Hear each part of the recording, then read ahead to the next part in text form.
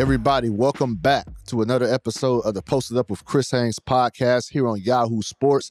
I have the pleasure of bringing on today. He's he's coming here on behalf of Body Armor, and we're going to let him talk about that. But this guy right here, we had the pleasure of bringing him home on the pod before he was drafted, months before he was drafted, when he was talking stuff back then, and when you really didn't know much about him. And now, obviously, he's backing it up right now in the NBA. I'm talking about Memphis Grizzlies star point guard Ja Morant. Ja, how you doing, bro? You getting ready for the playoffs?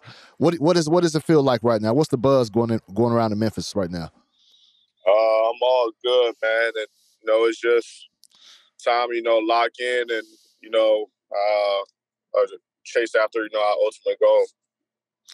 Now, Ja, we're gonna we're gonna we're gonna get to um the body armor. You on? I want I want to hear what you what led to you partnering with this um with this company. But I want to ask real quick, Ja.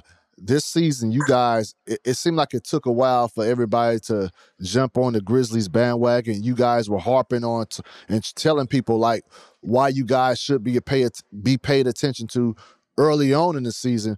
What was the moment when you realized that people are really starting to really look at you guys? Uh, well, I feel like you know the first time is you know uh, I went out with injury and you know I was out for a while and my team teammates you know were, were winning games. Um, and you know at that point I felt like you know the buzz was you know my teammates' record you know without me uh, you know early on and then uh, it was a stretch you know when I came back and I think went on like a a big time winning streak, and then I, I felt like you know that's what really you know solidified you know people actually you know knowing that you know we're a good team and you know we have you know something special you know uh, going on in Memphis. Ja, the, the year that you had as well has been special. I want to ask you about a certain award that I'm curious to get your opinion on. But Ja, when we talked before you were even drafted and you had these goals, these lofty expectations that you put on yourself, like the things that you're doing now, did do you even did you even surprise yourself or are you in the mindset like, nah, this is what I had planned and maybe you feel like you're you're not done? Like what what, what was your mindset back then? Uh my mindset back then was, you know, obviously, you know, setting, you know, goals aside, you know, for myself to, you know, always chase after. So, you know, I would never be satisfied. And I pretty much, you know, just that mindset, I feel like, you know, have me at the level, you know, that I'm playing at, you know, right now with, you know, going into off seasons where, you know, I'm working hard, you know, six days out of the week and uh, coming, you know, into the season and, you know, continuing to, you know, still work to have that, you know, consistency on that part. And uh, feel like, you know, it just gave me a lot of more confidence, you know, studying the film allowed me to, you know, be steps ahead, uh, you know, on the defense and, you know, credit to, you know, my teammates for, you know, uh, allowing me to, you know, play the game, you know, how I want and allowing me to, you know, get to my spots on the floor because, you know, what they're capable of, of doing. No, he's definitely a fun team to watch. Dillon Brooks, Desmond Banes, you guys, fun group, man. Seem like you guys really have fun. Look like a college, a college atmosphere uh, that you guys are doing. So I'm glad people are looking at that. Now, Ja, the award that I that I want to talk about. Did you see Draymond Green's comments about you last night? Uh, I haven't seen them. Okay, so the comment he made was something along the lines of why Jordan Poole should be most improved player. And he mentioned you like just basically being, you know, you were even though this is your first All Star um, season, you know, we we seen this coming.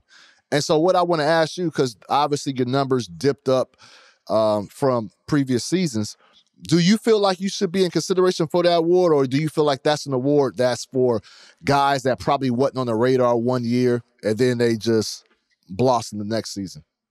Um, I definitely, you know, feel like you know I've you know improved uh, this season. So um, I think you know the award has the word improved in it, and feel like you know I, I, should be you know in consideration for it. But um, I, I don't think you know I I deserve that award. Uh, I feel like you know my teammate uh, mm. Dez actually deserve that award. You know, from the you know major leap he made, you know, this season, and it's a reason why we're you know the number two seed.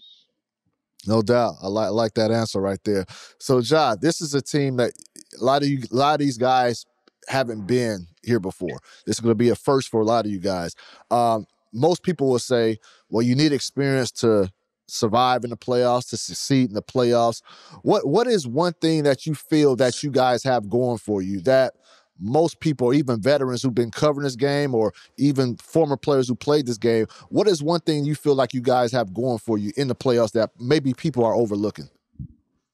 Um, I feel like you know, guys, you know, look at our roster, they see, you know, we're uh, one of the youngest teams in the league. Um, they feel like you know we don't have you know that experience part, and you know a lot of people who say you need experience probably never made the playoffs or probably you know have the same playoff experience that I had and get knocked out in the first round. So uh, we pretty much don't look into that. Uh, we have you know two guys on our roster right now who's been in the Western Conference Finals, um, and then you know returning you know our players from last year you know who you know, played in the playoffs. Um, I feel like it, you know, it really doesn't matter. It's pretty much just, you know, being bought in, being locked in, and you know, just going to you know finish the job. You know, pretty much just seeing who actually wants it more. And you know, our mindset is, you know, we got to be that team. You know, who, who want it the most.